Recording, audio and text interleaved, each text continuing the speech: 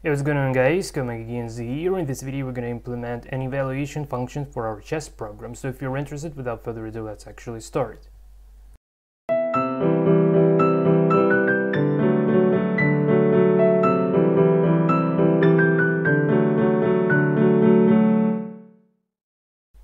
So let's draft the evaluation function. So I say def evaluate, it takes the self instance and Let's define the score variable equals to zero and at the end we need to return the score depending on site. So for black we want the negative score and for white we want the positive score. So I can say minus score if self dot site so equals to one means black so minus score else just the positive score and this is needed for uh, to serve the purposes of re returning the static evaluation within the Negamax search algorithm. Okay, so now the static evaluation itself. So we need to loop over the board square. So I say for square in range and length of self dot board. We need the square index to index the p square tables. That's the reason why I don't do for piece in, in self board. Now let's define the piece it equals to self dot board indexed by the square. Now we need to avoid uh, stepping off board so I can say if piece not in so empty square stands for off board dot stands for uh, sorry empty square yeah stands for off board dot stands for empty square and new line stands for off board. So off board, empty square, another off board. So let's print our piece. Okay. And yeah, obviously we need to call our evaluation. Yeah, we can also print the we can also print the board here. Okay. And here I can say print chess dot evaluate because we just need to make sure that evaluation is symmetric. Okay, zero is the evaluation value and we do pick up all the base pieces. Now we can use the piece uh, to reference the weights and p-square table. So let's start with the material weights first. So here it's enough to say score plus equals self dot weights indexed by the piece okay should be zero. Great. And now let's play around with the FEN so let's say I take away a single white pawn. It now should be minus 100 because that's the that's the exact value of the pawn. So let's check this. Okay if I take back if I take away some black pawn as well it should be back zero because we have the material balance. Good. So let's restore it back.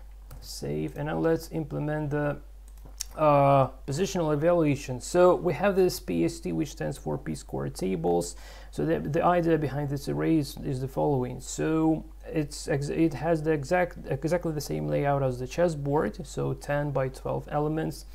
And uh, let's say pawn lands here. In this case, we have uh, in this case we have uh, uh the poor scores five points say pawn is here on e3 it scores like uh, 10 points on e4 it scores 20 points etc so i hope this is clear.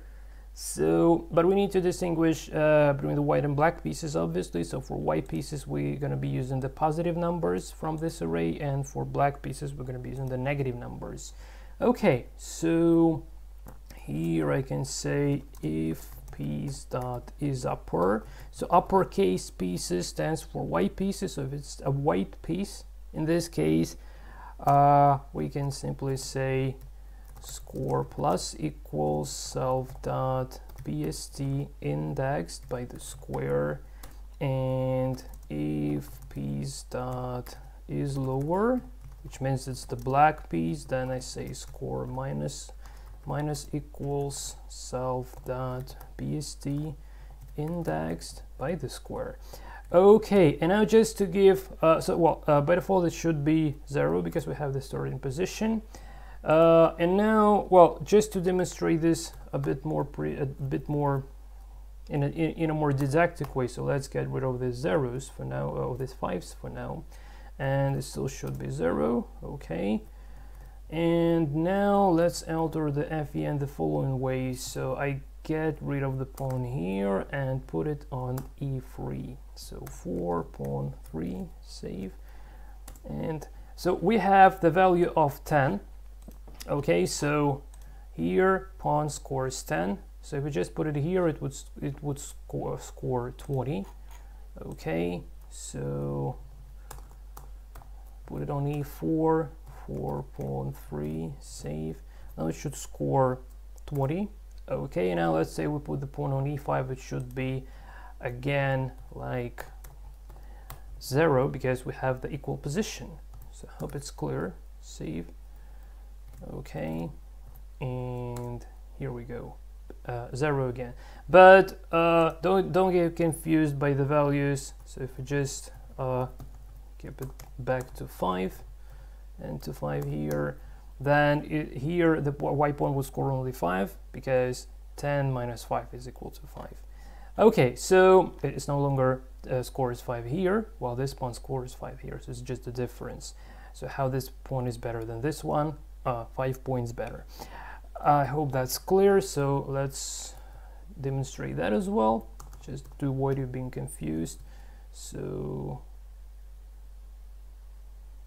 save, pawn save, and uh, yeah, now it would be 20 minus 5, it would be minus, uh, uh, it would be a uh, 15. Now it should, the score should be 15. Yeah, okay, and here respectively this on e3 it should be 5 okay 5 because we have 10 minus 5 equals to 5 that's kind of it.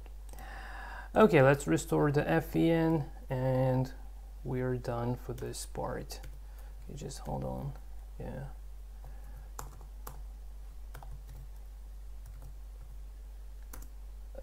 Uh, yeah just just forgot just to put the pawn back. Save. Yeah. Okay guys this is from my side so hope you've enjoyed the video and in the next part we're going to be implementing the Negamax search algorithm to finally make our chess program searching for a best move. This is it from my side. Thanks for watching. Until the next time and take care